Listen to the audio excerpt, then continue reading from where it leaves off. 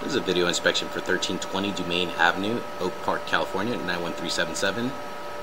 Point of entry is through a pool toilet located on the back left-hand side of the house. Right now I'm pushed out approximately 87 feet to the end of the ABS uh, connection. Seems to transition to some other kind of material. I'm going to pull back so you can just line. The line was traced and marked with orange paint and red crayon with the approximate depth of the line, approximately every 5 feet.